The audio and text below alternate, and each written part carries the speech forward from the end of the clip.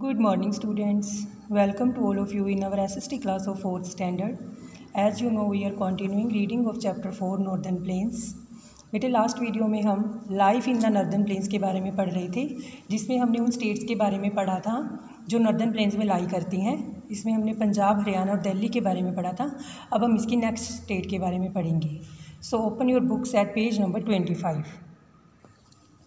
आज हम उत्तर प्रदेश के बारे में पढ़ेंगे। Most of the people of Uttar Pradesh are farmers Uttar Pradesh में रहने वाले ज़्यादातर लोग किसान हैं। They grow wheat rice pulses oil seeds and sugar cane वो गेहूँ, चावल, दालें, तेल के बीज और गन्ना आदि उगाते हैं।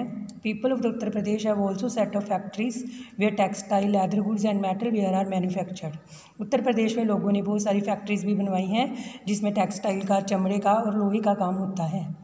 Taj Mahal one of the seven wonders of the world is in Agra a city in Uttar Pradesh Taj Mahal, जो वर्ल्ड के सात अजूबों में से एक है, वो आगरा सिटी में है, जो कि उत्तर प्रदेश में ही है।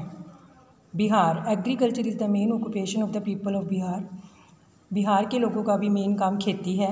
Farmers grow rice wheat pulses jute oil seeds mango guava lychees banana यहाँ के किसान चावल, गेहूँ, दालें जूट मैंगो अमरूद, लीची और बनाना आदि उगाते हैं। The popular dishes of Bihar are litti chokha and sattu paratha. Bihar के जो मुख्य डिश है, वो है लिट्टी चोखा एंड सत्तू पराठा। ये वहाँ का फ़ेमस फ़ूड है। जैसे कि पंजाब के लोग सरसों की सरसों का साग, मक्की की रोटी और लस्सी के शौकीन हैं, वैसे यहाँ का ये फ़ेमस फ़ूड है। Chhath Puja is an important festival of Bihar Bihar का ये एक प्रमुख त्यौहार है छठ पूजा। नेक्स्ट स्टेट है बेटा वेस्ट बंगाल ये भी नर्दर्न प्लेन्स में लाई करती हैं। Tea rice and jute are extensively grown in West Bengal West Bengal में ज़्यादातर मात्रा में टी राइस और चाय, चावल और जूट उगाए जाती हैं। Jute mills in West Bengal produce bags ropes carpet etcetera West Bengal में बनी हुई जूट मिल बैग, रस्सियाँ और कारपेट आदि प्रोड्यूस करती हैं। Fishing is an important occupation of the people here यहाँ के लोगों का मुख्य काम फिशिंग है। Durga Puja is the main festival of the West Bengal West Bengal का मुख्य फेस्टिवल दुर्गा पूजा है। Assam beside rice and jute tea is also grown extensively in Assam rice और जूट के अलावा असम में चाय भी उगाई जाती है। Assam is famous for its tea garden Assam अपने चाय के बागों के लिए बहुत मशहूर है। Bihu is the main festival of Assam Assam का मुख्य फेस्टिवल बिहू है।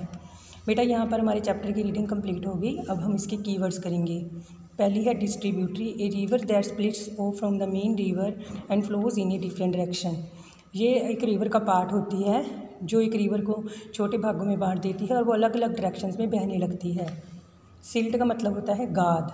Sand mud etcetera that are carried by flowing water and left at the mouth of the river जिसमें मिट्टी, कीचड़ वगैरह आ गया जो चलते हुए पानी के साथ बहते हैं और वह उन्हें नदी के मुँह पर छोड़ देती है, जिसे कि हम सिल्ट कहते हैं। ये बहुत इसमें बहुत उपजाऊ शक्ति होती है। इसी वजह से जो नॉर्दर्न प्लेन्स है, वो बहुत ज़्यादा फर्टाइल हैं। Tributary a small river that flows and merge into a bigger river tributary एक छोटी नदी होती है, जो बाद में जाकर एक बड़ी रिवर में मिल जाती है। बेटा, ये आपको कीवर्ड्स अपनी नोटबुक पर neat and clean handwriting में करनी है।